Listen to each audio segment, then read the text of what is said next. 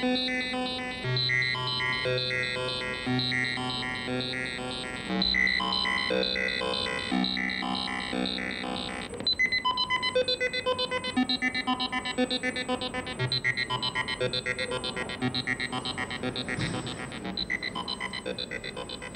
abacus was man's second aid to counting.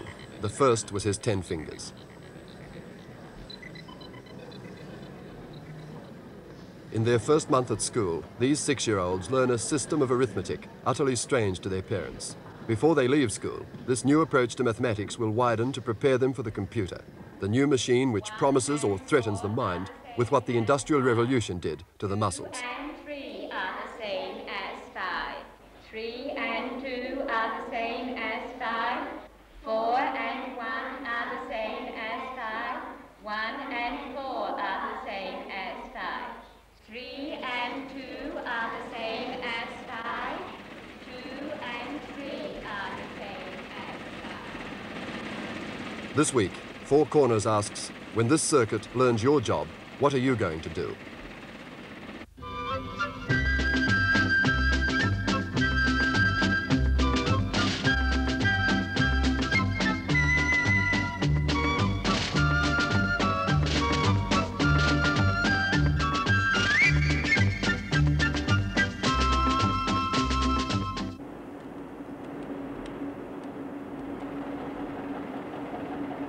Computer age in Australia is now. It's 10 years old, and in 10 years there have been three computer generations. From the first giant machines homemade in universities and filling rooms with radio valves and wiring, to the new models, many times smaller, many times cheaper, and a thousand times more efficient. In 10 years, the computer has spread from the university research centres into government and business. There are now 600 in Australia. They'll double in number in the next three years and increase fourfold in the next 10. Their influence will grow even faster.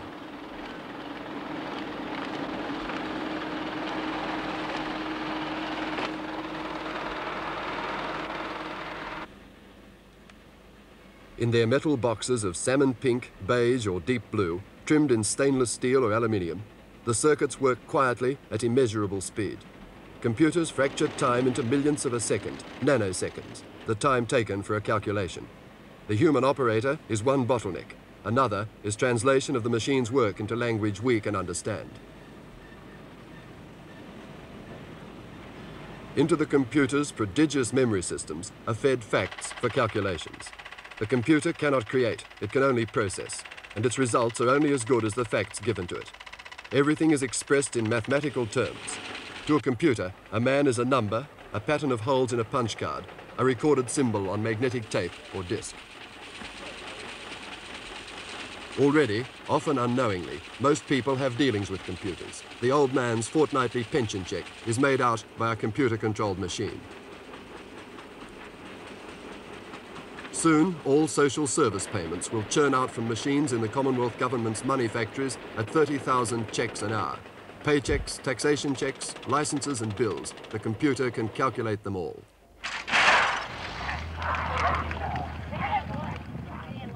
Melbourne, where everyone who bets on the TAB deals with a computer.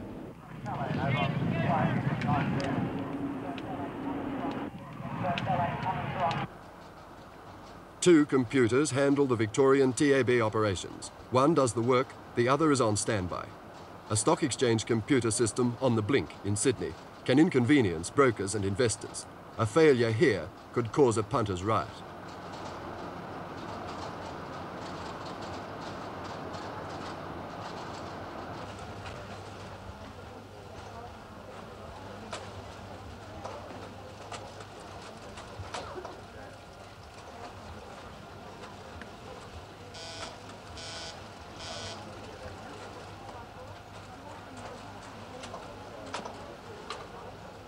It's the only racing installation of its kind in the world, and it took 25 man years to teach it the mathematics of the turf.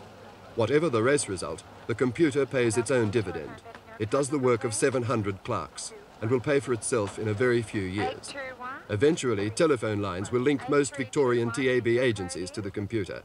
Telephone account bettors are already doing business with it, but through an operator.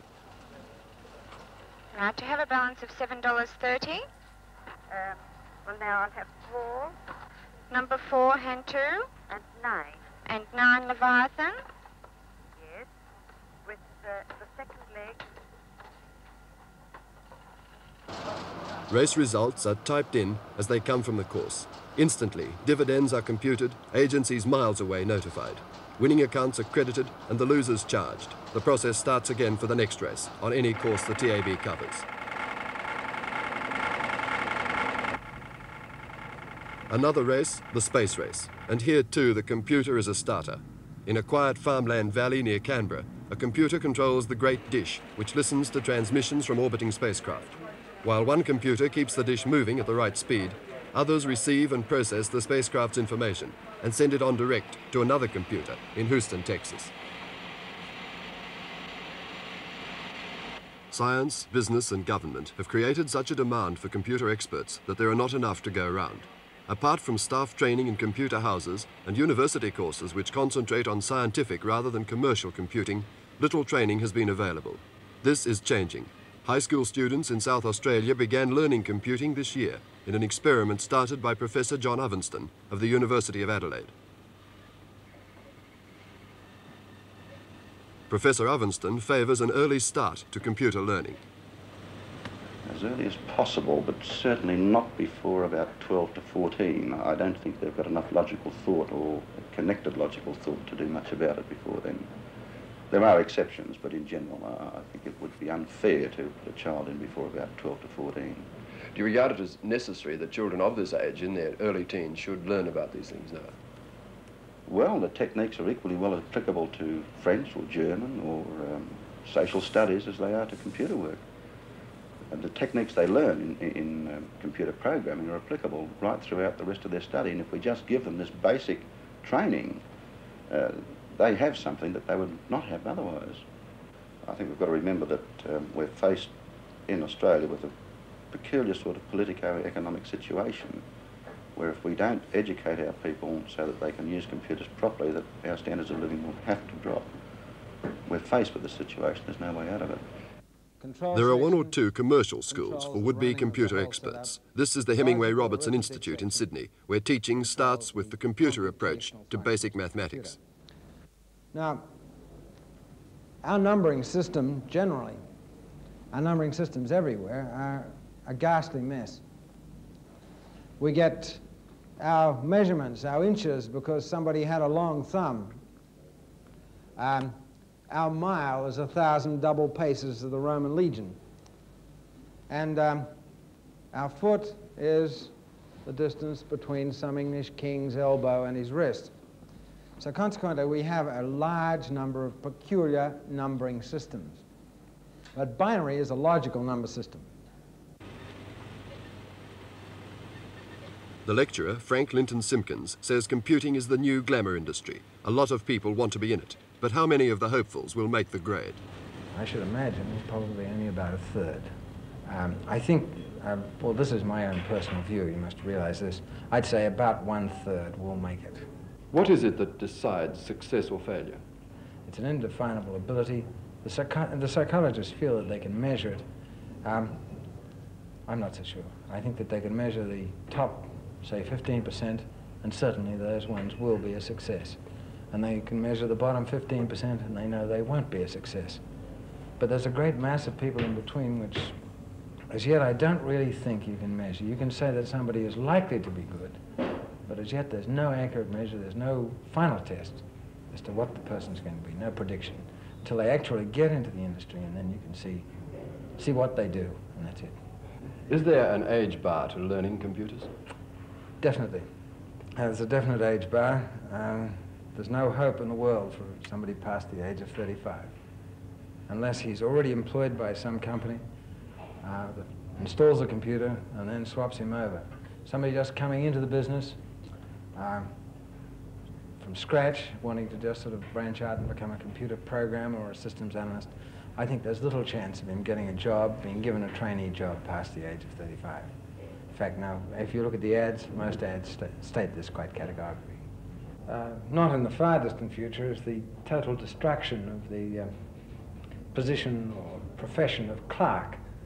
Um, uh, most clerks and officers are practically unskilled laborers who can read and write. And this is about it. Their jobs are in danger, and they have about five years to run, at the most. While the arbitration court is considering a test case involving replacement of people by computers, the Council of Salaried and Professional Associations sees other fears. Its Victorian Secretary, Mr. John Sanders. Well, our principal concern is that uh, computers shall not be used to reorganize the lives of people, to change their working lives altogether, but that uh, computers should be tools in the hands of the people. They should be uh, supplying their needs and, and not changing their lives. But have your members any more to lose than the regularity of nine to five hours? Well, we feel that um, social patterns of living in the, in the nine to five area are long established and that interference with these patterns, uh, where it's more than uh, really enforced by the requirements of industry, is not necessary. The, the concerns of people should come before the concerns of the machines. Does this disorganization of established ways of life concern you more than a possible loss of work altogether for people as a result of computers? Well, no, but I would say that uh, the possible loss of work altogether is quite a long way in the future in the Australian scene. Uh, in certain overseas countries, in the United States, for instance, it's been formulated that possibly by the year 1980, only 10% of the present workforce would be required to maintain the output of goods and services for the community. But in a developing country like Australia, this is much further ahead, I would say. Can you see banking becoming, in the future, a totally automated industry? I think this is very unlikely. I think the uh, personal service type industries will only be uh, susceptible to uh, computerization in a certain area, and beyond that, the personal service will uh, still be paramount.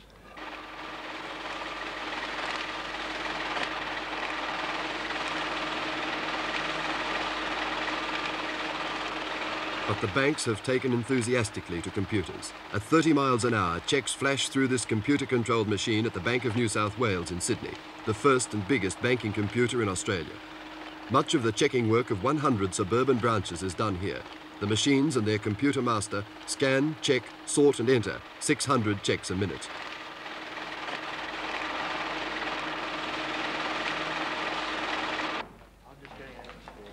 Banking is a rich field for computer makers, but overseas the designers are thinking now of business without checks at all. Instead, a national credit card system, computer operated.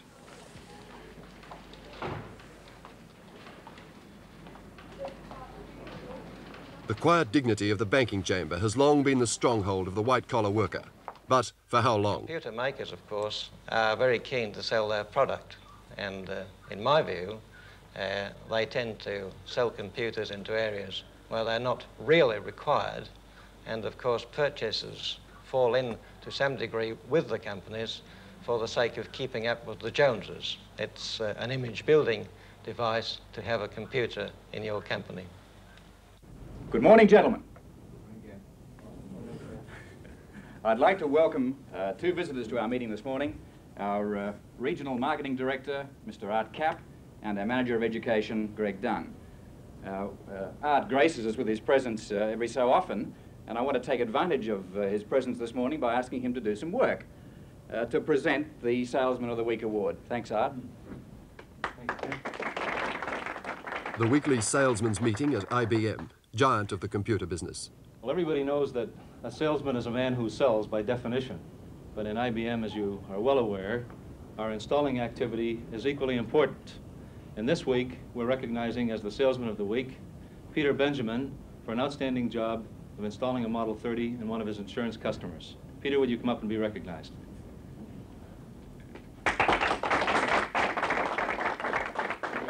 Thanks, Art. Thank you. Could you tell us a little about it? Well, it's, uh, it's been a very interesting uh, challenge. Uh, These are among the best paid industry salesmen in Australia. They can make uh, $12,000 or more a year, and this, rather than the prize pewter pots, breeds their enthusiasm for the industry, the company, the machines. of the whole group. Some are university graduates, all are computer experts. In the computer business, salesmen are the elite. There are no unsuccessful salesmen. If at first they don't succeed, the prospects aren't too good. Get your thinking caps on. Peter, would you like to start the ball rolling? Um, 4,000 this week. 4,000 points? Yes. Look good? I did, I've got the paperwork. Most of IBM's computer business is the leasing of machines. But lease or sale, one dollar of business is one competitive point for a salesman. Come on. I know very well you had a thousand points on the sheet last week. Well, that still depends very much on a board meeting later on this week, but um, board meeting's Thursday. The board meeting is this week. Uh-huh. Thursday, right. Comes through on Thursday, well, we may be able to get through within the week. Yep. Well, how many points in it? Thousand points. That's as safe as a bank. Peter? Well, myself, I've got 5,400, Ken. Uh-huh, uh-huh. This week? Yes, the whole project's been on schedule so far. There's no reason why it'll slip now. Well, that's a good sign, okay? Anybody total that up? Make that uh, 27,700. Yeah, sure. Okay, and it looks like with the sound business, it's in the range of about, uh, oh, 15 to that, depending on this swinger. Well, Mr. Cap, uh, are you satisfied with that forecast? Well, that's far and away the most enthusiastic forecast and the healthiest one I've seen this year. of all the branch offices, I'll make you a special proposition. If you can achieve, let's see, 20,000 points of that forecast, I'll take you all out to dinner after the next sales meeting. How about that?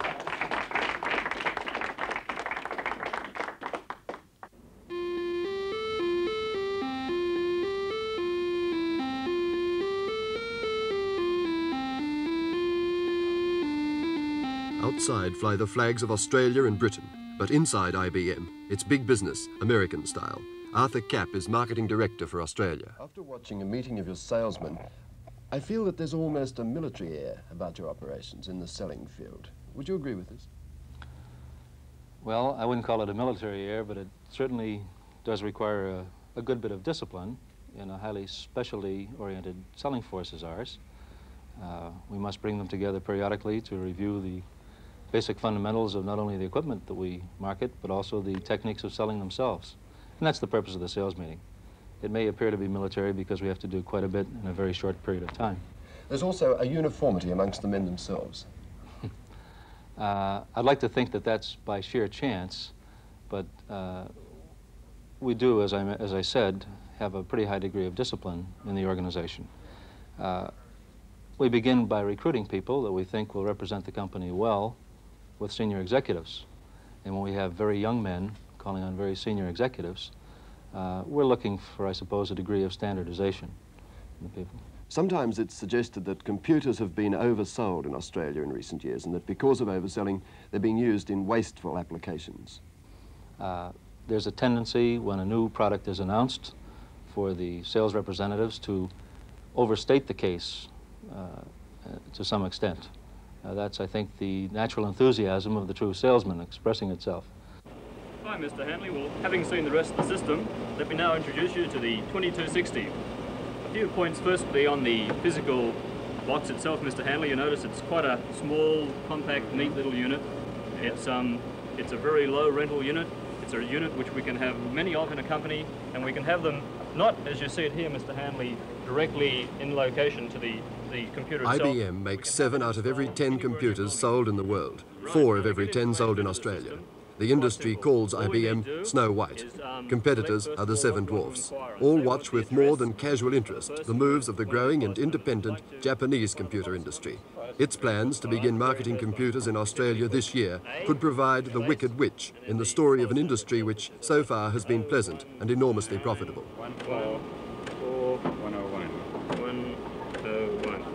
right, Right, we push shift and enter, and there we have the policy number, good. the address, -huh. And there we have it.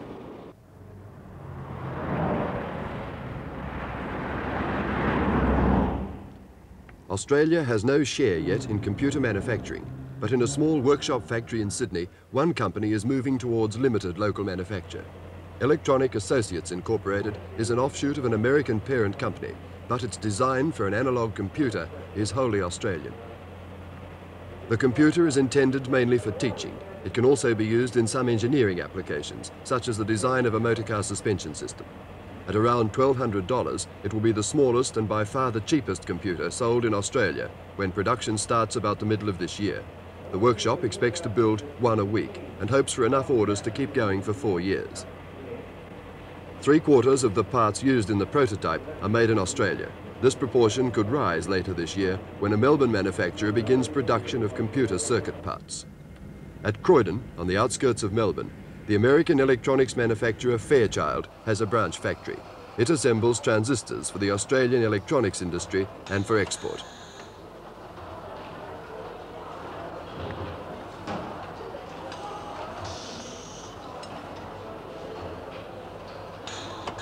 Fairchild plans to begin production this year of micro-miniature circuits, the tiny electronic devices which have made possible the compact third-generation computers.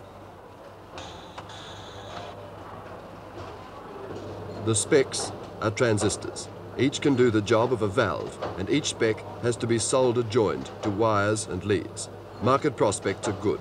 A computer system may contain more than a million of these tiny parts.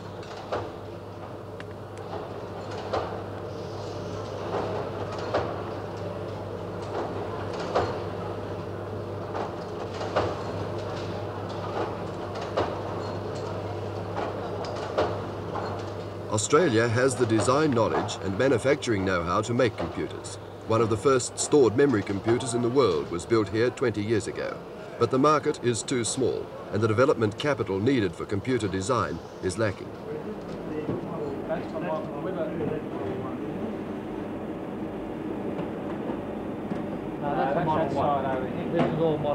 The industry continues to import complete machines from overseas, matching together in this one installation components made in four other countries. Computer research in Australia mostly aims at finding new uses, new techniques of operation. One university is working on what it calls a hierarchical computer which can control others. Another research effort aims to establish communication between a number of computers. Yet another seeks human voice control of a computer system. With an electric pen, a designer draws in three dimensions on an electronic screen.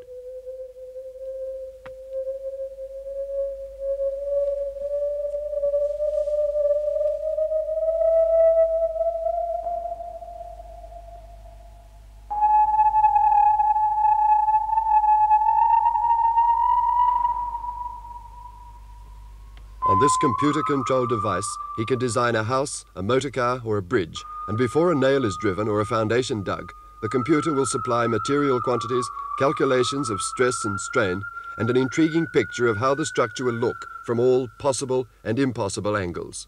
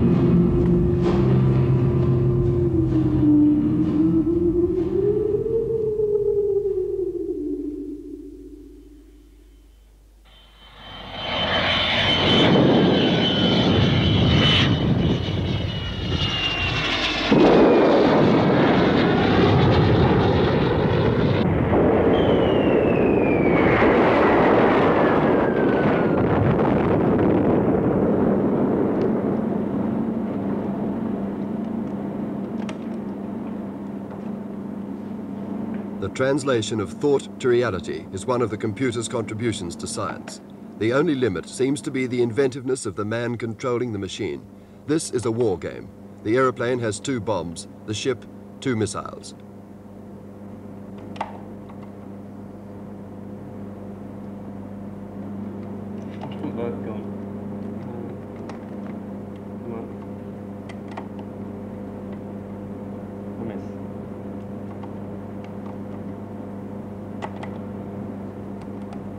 computer.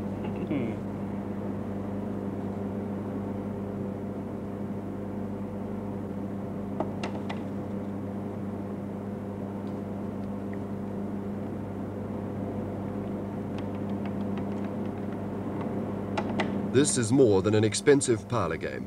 It's a test of the capability of the computer and the university programmer who devised the game.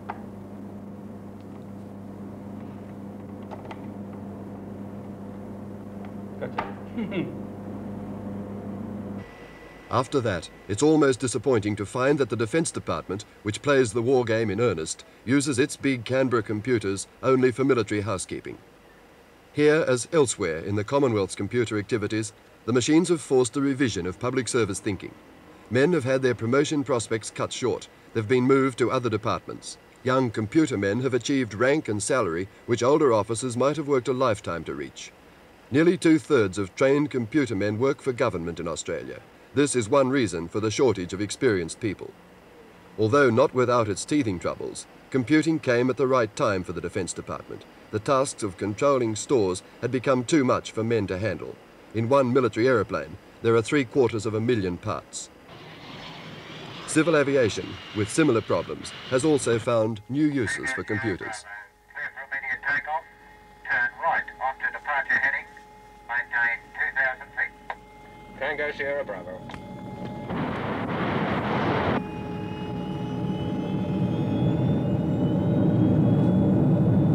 Trim max power.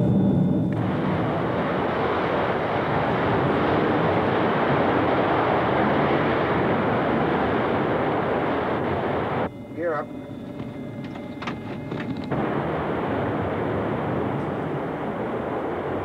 Flaps at five, gear up locked. That's it.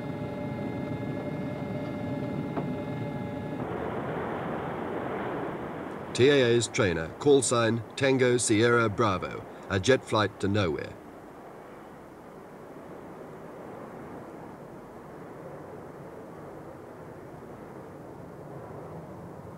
The flight simulator and its control computer cost a million and a quarter dollars, but it's cheap training for pilots and doesn't tie up an aeroplane that could be carrying passengers.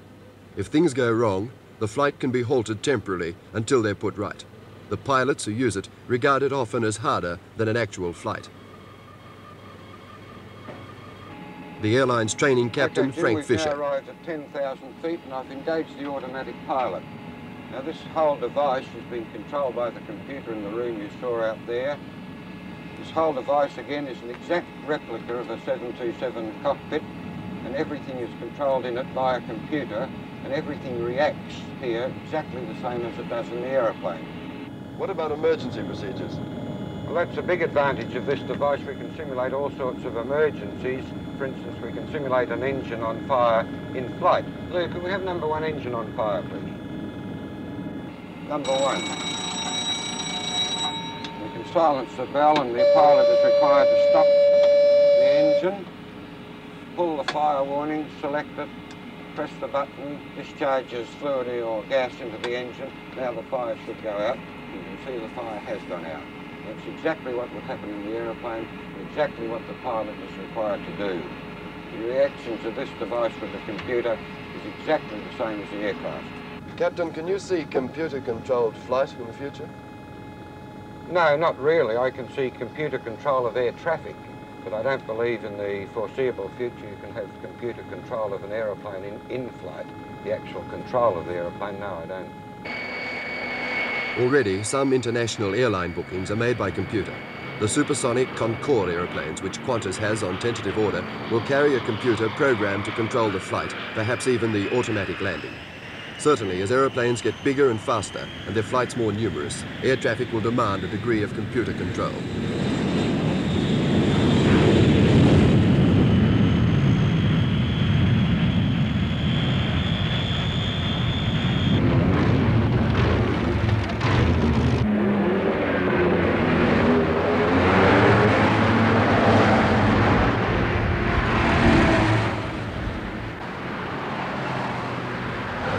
On the ground, another kind of traffic is practically beyond human control.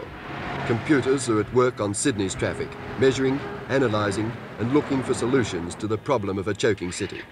The computer can say where a road should be built and how it can be built. It can draw the road in detail, a full design for an expressway at the rate of one mile an hour.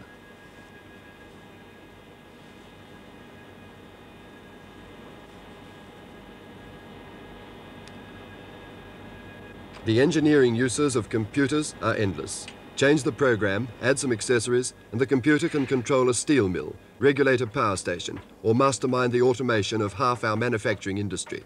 It can help to design other, better computers. This electronic Ouija board draws a contour map of a tin mine a thousand miles away, working from surveyor's figures.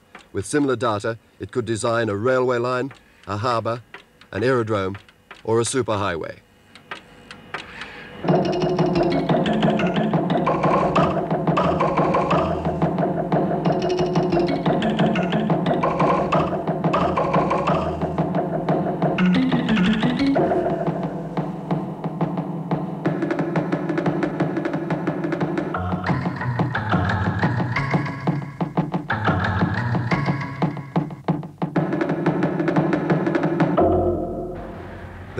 that will make these roads inadequate in a few years are probably being computer designed now.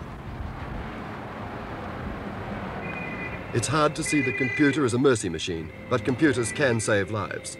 Some states are financing research projects to adapt computers to work in hospitals. The Victorian Civil Ambulance already has a radio and telephone system for directing patients to hospitals with vacant beds. Some of this work could be computer controlled. Once the patient is in hospital, the computer promises to be a medical and nursing aid of enormous value. A constant watch of the pulse rate and temperature of every seriously ill patient, an alarm system if a patient's condition should suddenly change, and as well an accounting system to pay the staff and prepare the patient's bills.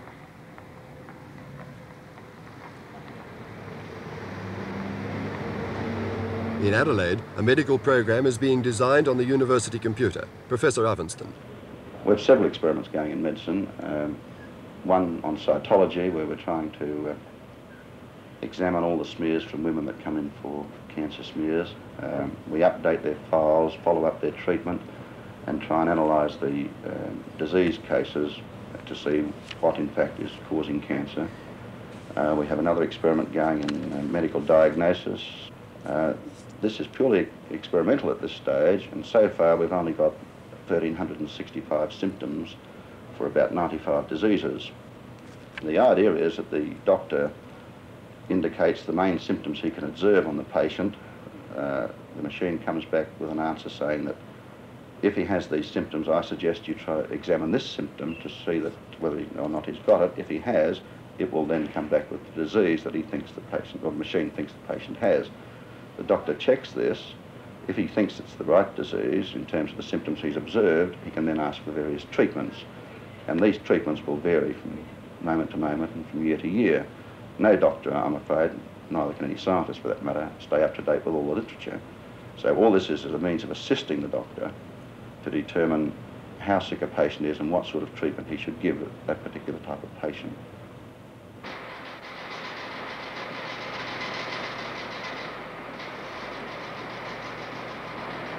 The computer craft keeps not only a wall of plate glass between itself and the world outside, it has encouraged the mystique which still surrounds computing, a mystique with a dollar value. For the fewer the people who know computers, the better the rewards for those in on the ground floor. But the machine makers are trying to break down the barrier of expertise by designing computer systems for direct communication with the people who have problems to solve.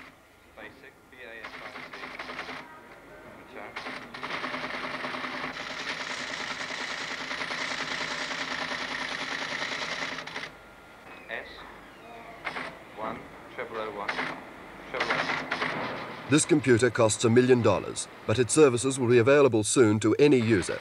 Its weekly cost, less than the wages of a clerk. The computer gets its work in plain language, simply typed in. The answer comes back the same way, to a teleprinter miles away from the computer center. The only link needed is a telephone line.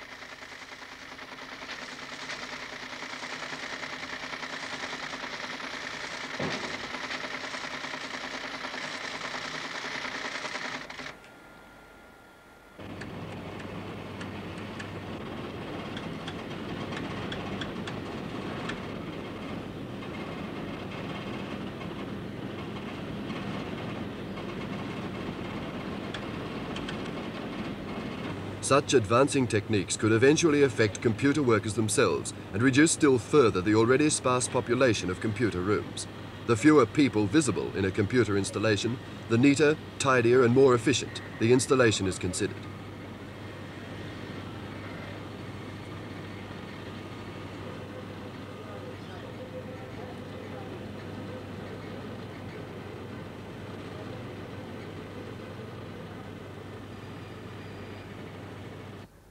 Appear to be two of the sort of um, Dr. Barry Thornton is Director of Engineering for Honeywell Australia. His specialty is computer design and development. The operating of machines these days is something that we have almost succeeded in eliminating because the manufacturers provide what we call operating systems and these are provided and fed into the computer quite separately to any program that the user may put in and they look after the entire operating procedure from woe to go. And they will take batches of problems rather than just a one-off problem and make much more efficient use of the faster machines that are available than was possible previously. And uh, the less intervention by a human operator the better because a human operator is only going to slow things down. So we provide these operating systems, as do all organisations in the industry now, and uh, the idea of operating it uh, is something that we want to get away from. It seems almost inevitable that because of computers, some people are going to lose their jobs. Can the computer industry regard itself as in any way responsible for them? Certainly, it is designed to make the businesses more efficient and more profitable, but in making them more efficient and more profitable, it usually makes them capable of further expansion, which requires more people. Uh, some of the people who are doing very menial tasks find that there will be opportunities to do much more interesting tasks if they're able to do it or willing to learn to do it. And in fact, uh, my observation so far on the Australian industry is that the more interesting jobs have been created than jobs eliminated. But the new and more interesting jobs are for other people, aren't they? Under 35 and trained in computers. They are not necessarily for other people, but they are for people who are willing to uh, learn to do the new jobs. And as far as the age is concerned, uh, certainly it is probably harder to learn some of these new things in the computer industry uh, beyond 35 or 40. But uh, it doesn't mean that a man 35 or 40 is out of the business. Computing lecturer Frank Linton Simpkins doesn't like all he sees in the future of man and computer. Well, there's two main fears. Uh, the first is a normal one with any radical technological change, and this is the replacement of jobs. In fact, the destruction of jobs. Um, this would be, in, in its final absurdity, the situation where nobody or people would have not a, would be given a right to work. Let's say three hours uh, work a week, um, and uh, I don't quite know what they do with the rest of their time. Perhaps um, we come full cycle, and somebody would reintroduce something like the Roman circuses to keep them entertained. This is the uh, uh this is for the future, but what's dangerous right now, terribly dangerous, is the concept of what's called a national data bank. This is a, an attempt by governments to control information or gather information to one central point about any person or people, groups of people in the country. Uh, there are advocates of this national data bank. Most of them very honest and sincere men who think that it would be a good thing, and so it would be in certain areas. Um, it would provide information for health details, uh, for surveys. The other thing, and the worst thing about it, is this that with information about a man's income, his job, his place of residence, his health history, his educational ability, and his taxation history, all at one point. This gives you a terrific, gives a government a terrific control and information about the individual. Uh, in the past, when somebody has um, been accused of gerrymandering an electorate, they've done this uh, without a great deal of knowledge of the individual people. With a computer and a national data bank, they could gerrymander an electorate absolutely. so that a malevolent party in power would remain in power legally, indefinitely, by rigging the votes in this way, rigging the electorate. Uh, there is an argument, again, arguments against me. I'm not exactly the only person who thinks this, this way, but there are others who think quite the opposite. Uh, they think that data banks, national data banks, are a good idea. And they say that there will be built-in controls so that people can't use these or misuse them. The wrong people can't get the information. But in all honesty, just think, a, an idea of this power, would you trust the average politician with this power? I'm afraid I wouldn't. Data bank is an unpopular phrase at the Commonwealth Bureau of Census and Statistics. The Bureau denies absolutely at top level that a plan or even an intention exists for a national data bank. But the idea has been canvassed by some of the Bureau's own computer men. They claim the bank will come inevitably.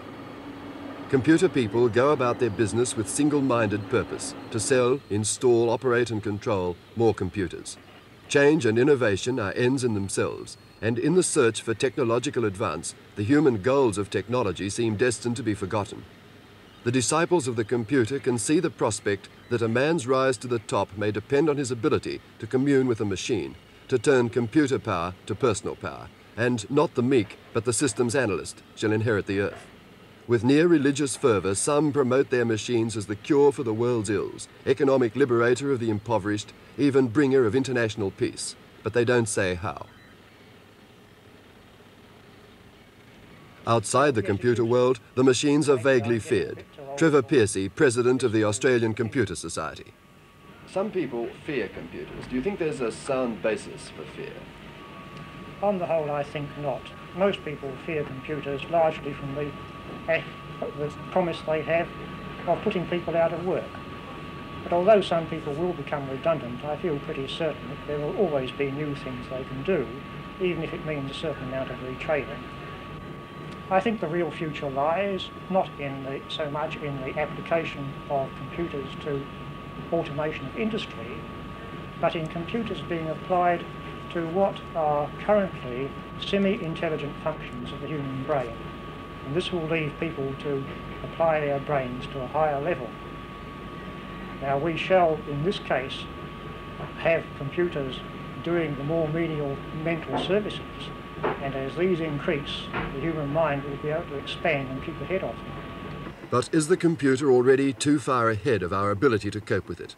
The Australian and New Zealand Association for the Advancement of Science has warned that no one in Australia has yet paused to consider the social effects of computers. Clearly, computers are economic because they repeal Parkinson's law. Fewer people handle more work. They offer a degree of business stability unknown with human workers, unpredictable, contentious, disruptive people. The computer is the complete servant, or the potential master. The time could be overdue for Australia to take a hard look into the 1970s and ask, as a national question, when this circuit learns your job, what are you going to do?